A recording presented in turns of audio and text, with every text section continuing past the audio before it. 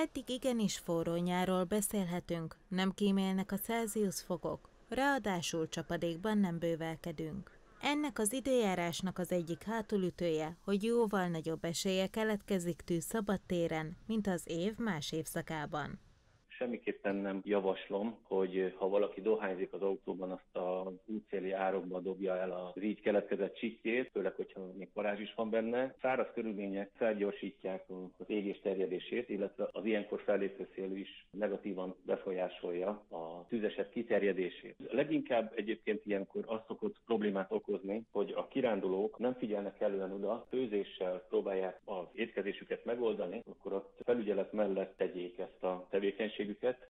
Ilyenkor mindig legyen kikészítve valami, amivel rögtön tudunk tüzet oltani. Az autók is gyorsan túlhevülhetnek, ezért fontos, hogy legyen tűzoltóeszköz, tűzoltóspré a járműben. Mivel ilyenkor sokkal több elektronikus eszközt használunk, ventilátorokat, mobil klímákat, a régi épületeknél hamarabb hevülhet túl a vezeték a falban. Hogy időben ki tudjunk menekülni az ingatlanból, rendkívül fontos, hogy a helyes készülékeket beszerezzük.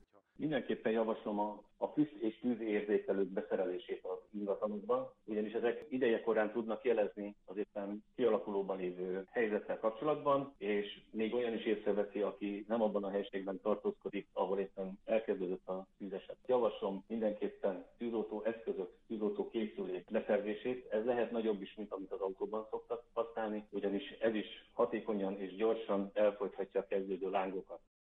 A jelenleg is érvényben lévő tűzgyújtási tilalmat nagyon komolyan kell venni. Ez azt jelenti, hogy tilos tüzet gyújtani erdőkben, felsitásokban, facsoportokban, úszszéli fasorokban, és ezek 200 méteres körzetében, még a kijelölt tűzrakóhelyeken is. Minden olyan tevékenységet kerüljenek, amely tűzgyújtással jár.